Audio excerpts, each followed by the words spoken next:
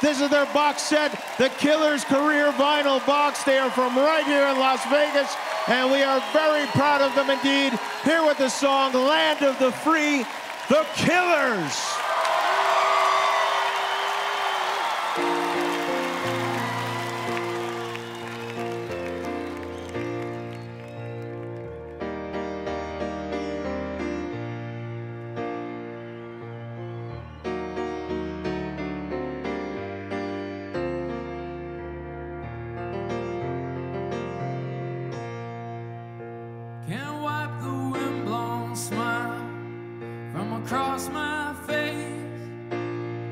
It's just the old man and me